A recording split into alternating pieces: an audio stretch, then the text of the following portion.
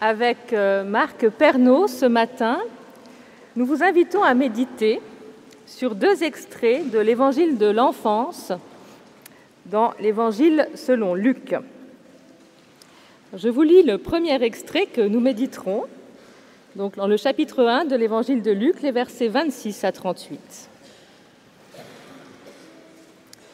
Le sixième mois, l'ange Gabriel fut envoyé par Dieu dans une ville de Galilée du nom de Nazareth à une jeune fille accordée en mariage à un homme nommé Joseph, de la famille de David.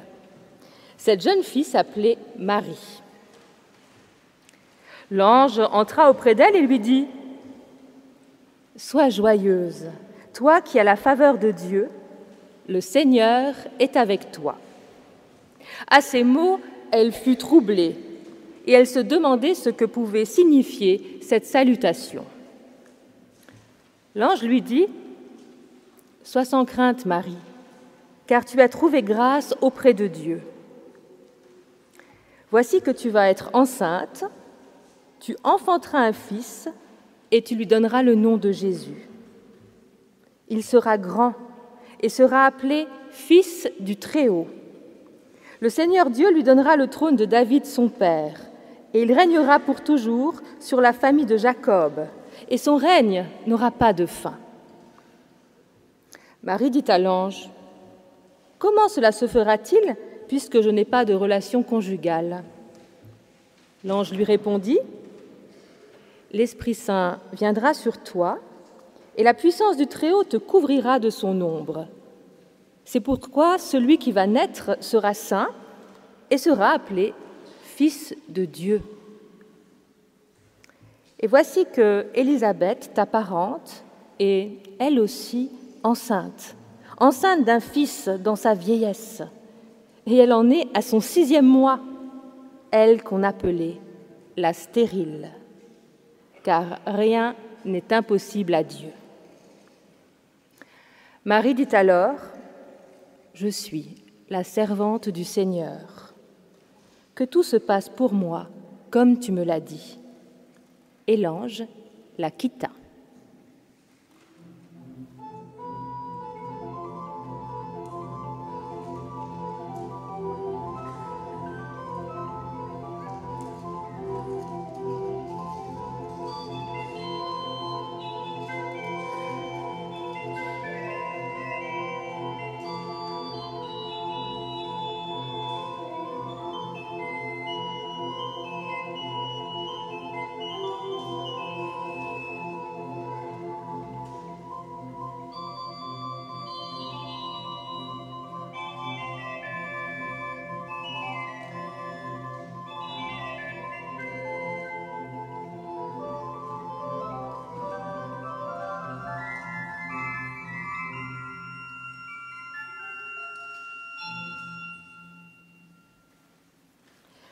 Rien n'est impossible à Dieu. Ce sont les dernières paroles de l'ange Gabriel à Marie. Rien n'est impossible à Dieu. Eh bien croire en un Dieu pour qui rien n'est impossible, c'est croire que dans notre existence, rien n'est écrit une fois pour toutes, même pas notre passé. On entend souvent dire on ne change pas le passé. Mais ce n'est pas tout à fait vrai. Car nous le savons, nous faisons constamment un travail de mémoire. Et notre regard, notre ressenti par rapport à ce qui, fut, à ce qui a été, peuvent changer. Il arrive même que l'on arrive à se libérer de lourds souvenirs, d'anciennes croyances et de conditionnements qui n'ont plus lieu d'être aujourd'hui. Nous venons d'entendre un extrait de l'Évangile qui est lui le témoin d'un travail de mémoire collective. L'histoire de l'Annonciation est un passé recomposé. Nous savons bien que cet épisode n'est certainement pas historique. Il est une tentative d'essayer de raconter comment Dieu a rejoint l'humanité en Jésus. Dans ce petit récit de la rencontre d'un ange avec Marie, Jésus est présenté comme étant à la fois fils de Dieu et Messie davidique, s'inscrivant contre toute logique humaine dans une double filiation. Ainsi, Jésus n'est pas encore conçu que déjà on nous raconte qu'il va incarner l'impossible de Dieu. Et c'est ce qu'il fera par ses gestes, par ses paroles, par sa résurrection même. Ainsi, vous l'avez compris, pour asseoir l'autorité de Jésus dans les premiers temps de l'Église, eh bien, on nous raconte que c'est dès sa conception qu'il incarne l'impossible de Dieu. Et c'est à cet impossible que Marie dit oui.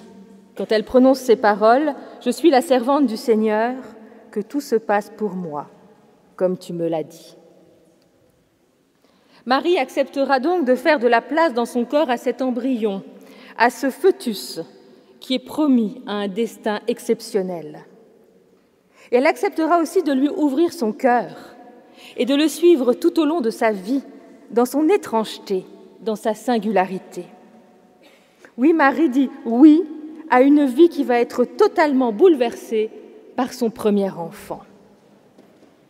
Eh bien, dans l'évangile de Luc, nous l'avons compris, Marie est la figure de l'accueil inconditionnel. Mais, et si elle avait dit non à l'ange? Si elle avait refusé? Pas de grossesse Pas de naissance? Oui, imaginons que Marie ait refusé l'impossible de Dieu. Vous imaginez une société qui n'aurait pas grandi dans le berceau du christianisme? Si Marie avait dit non, il n'y aurait pas de Noël, pas de cathédrale, et ce matin, nous serions tous ailleurs. Si nous sommes ici ce matin rassemblés, c'est grâce à ce oui originel, ce oui dont Marie est l'incarnation dans l'évangile de Luc. Si nous sommes ici ce matin, c'est grâce à la chaîne de oui qui a traversé des générations et des générations de croyants. Les oui de femmes et d'hommes qui ont accueilli la parole de Dieu avec la folle espérance qu'elle charrie. Les oui d'hommes et de femmes qui ont pris le risque de croire en une autre dimension possible de leur vie. Des femmes, des hommes qui ont cru en une fécondité spirituelle, en une humanité guérie, sauvé de ses maux, capable de vivre à sa véritable mesure.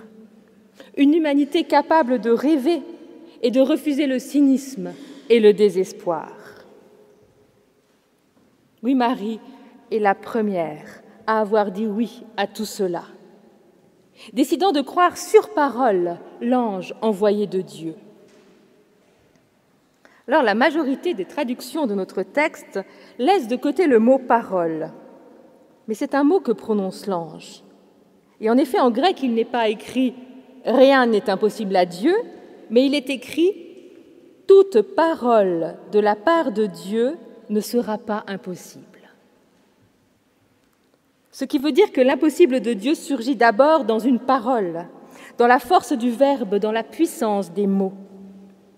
Et la parole dont il est question ici est une parole active, une parole en acte, une parole capable de faire advenir la vie en terre vierge, en terre stérile, une parole qui rend fécond celui qui l'accueille, une parole qui rend féconde celle qui l'accueille.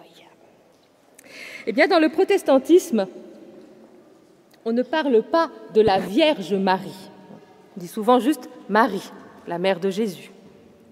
On insiste peu sur la conception miraculeuse de Jésus, hein, sur ce miracle de sa venue au monde. Mais si nous ne parlons pas de la Vierge Marie, je me suis demandé si nous ne pourrions pas dire que Marie est comme une page encore vierge. C'est-à-dire une jeune femme pour qui l'avenir est encore totalement ouvert et qui a la capacité de laisser Dieu écrire en elle la suite de son histoire. Marie, cette page encore vierge. Et nous Notre avenir est-il encore ouvert? Nous qui avons déjà écrit, pour la majorité d'entre nous, une bonne part de notre vie, sommes-nous prêts à laisser Dieu s'immiscer dans nos projets, à venir bouleverser les plans que nous avions faits Je crois que Dieu s'adresse à cette page en nous qui est encore vierge, à cet espace où notre histoire peut encore s'écrire différemment. Dieu s'adresse à cette page encore blanche en nous où tout peut être écrit. Il s'adresse à ceux qui en nous croient encore en un avenir meilleur. Au IVe siècle, un des pères de l'Église, Grégoire de Nice, écrivait que la puissance divine est capable d'inventer un espoir là où il n'y a plus d'espoir et une voie dans l'impossible. Cette phrase est un appel à refuser la résignation. Et en effet, dans la foi, ce n'est pas car à vue humaine nous sommes dans l'impasse que tout est fini. Ce n'est pas car nous n'avons plus la capacité de trouver des solutions qu'il n'y en a pas. Il y a en chacun de nous une page vierge où tout peut encore s'écrire différemment.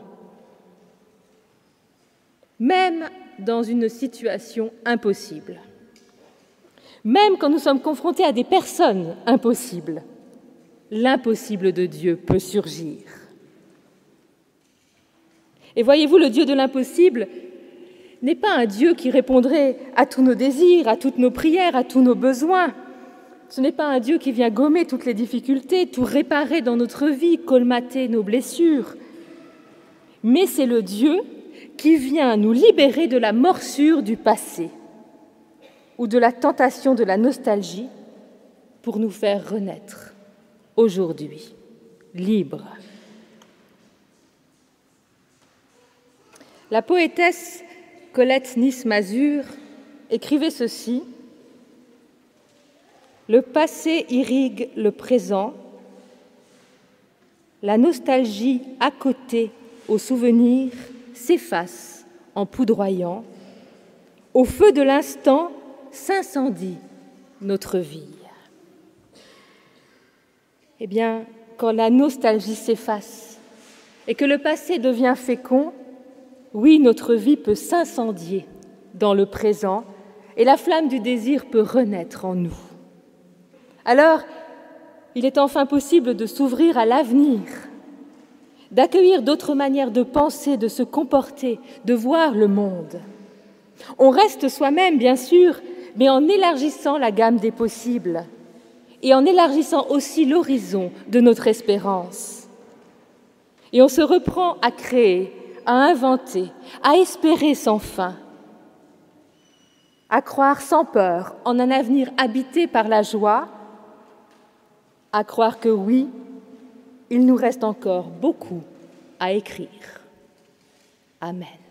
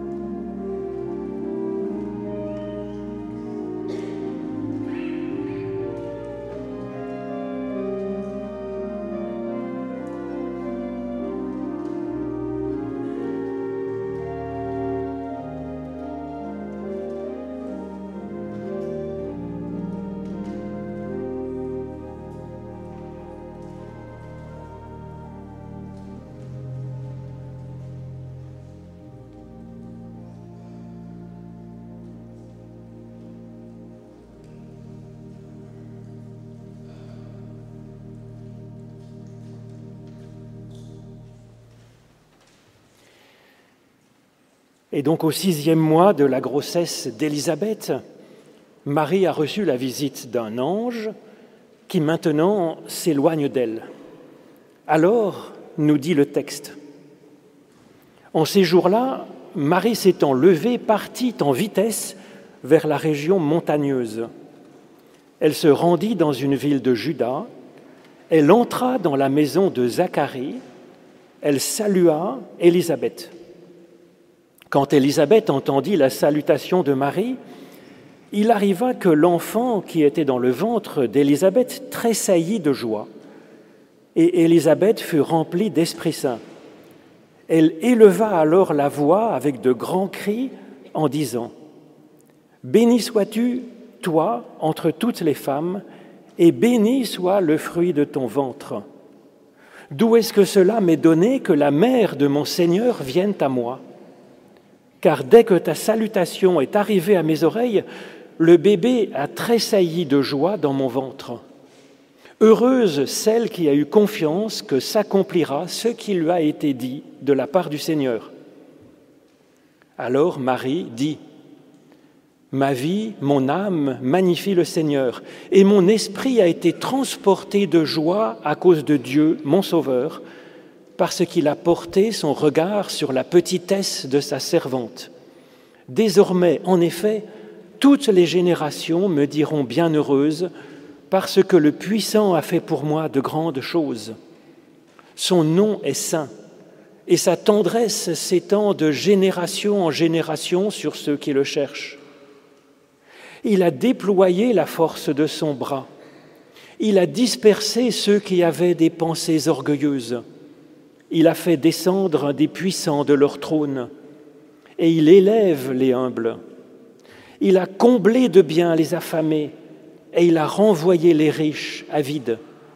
Il a secouru Israël, son serviteur, et il s'est souvenu de sa tendresse maternelle, comme il l'avait dit à nos pères, envers Abraham, envers sa descendance pour toujours. Et puis après avoir dit ce chant, Marie demeura avec Élisabeth environ trois mois, puis elle retourna dans sa maison.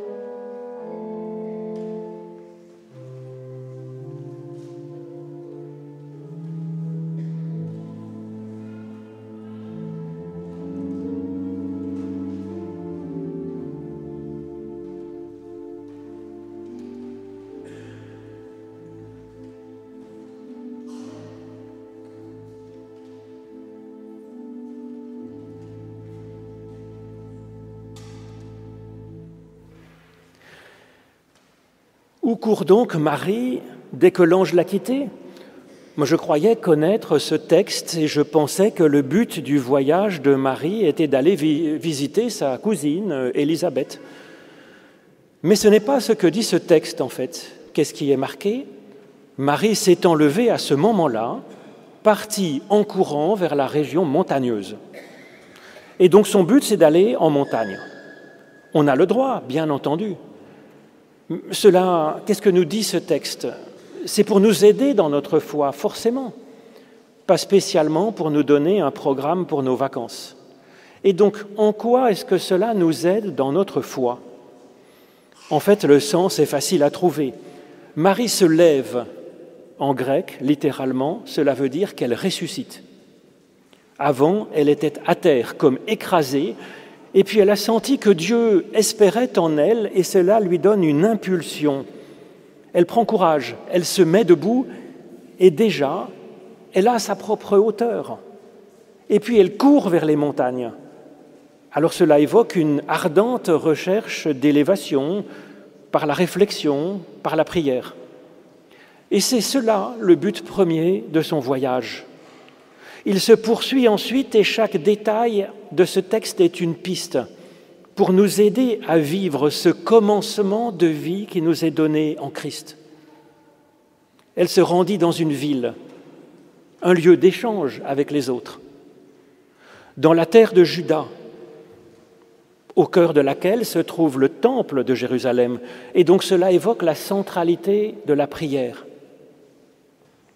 Elle entre dans la maison de Zacharie, et le nom de Zacharie signifie littéralement l'Éternel se souvient de sa tendresse. En effet, quand Dieu est appelé Yah, c'est pour évoquer qu'il est tendresse maternelle pour nous. D'ailleurs, Marie cite elle-même cette phrase dans son chant en référence à l'histoire d'Abraham qui est béni et qui devient bénédiction pour un grand nombre. Marie entre donc dans la mémoire de cette histoire. Elle comprend que l'histoire biblique parle d'elle, qu'elle s'est levée et qu'elle s'est mise en route comme Abraham.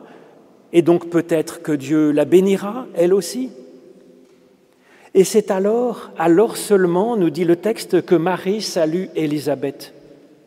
Un salut tout simple apparemment, qui pourtant semble tout déclencher dans cette histoire.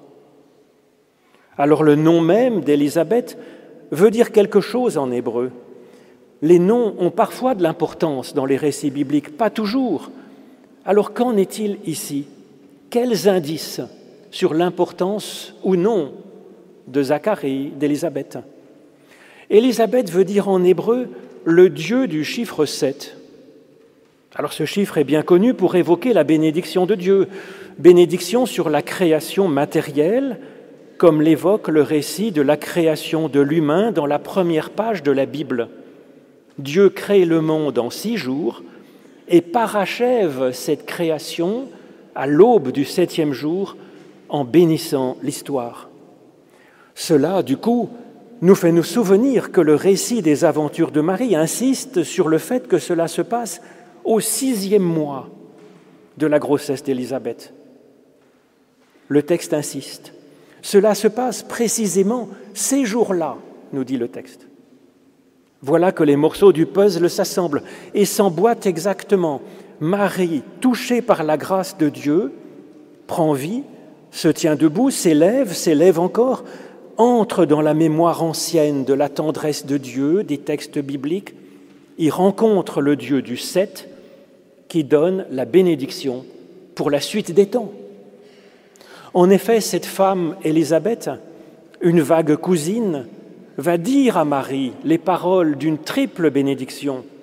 Bénédiction sur elle, Marie, sur son enfant, et puis le don d'être heureuse. Élisabeth n'est pas Dieu, évidemment. Elle va seulement réaliser ce que signifie son nom. Elle va réaliser sa vocation en étant porteuse d'une parole qui va faire que Marie recevra cette triple bénédiction. Du coup, la, salutation de Marie que le texte présente avec insistance comme déclenchant tout, cette salutation toute simple prend un autre sens. Il est comme un Amen de Marie au Dieu du septième jour, au Dieu qui avait pour projet de créer une humanité à son image, à sa ressemblance, hommes et femmes, et puis les bénir, et bénir l'histoire qui suit. Le texte de la Genèse ne racontait donc pas une histoire passée, il est un programme, il est une espérance de Dieu pour nous aujourd'hui dans notre vie. Il balbutie ce programme depuis l'aube de l'humanité, vient enfin le temps du septième jour.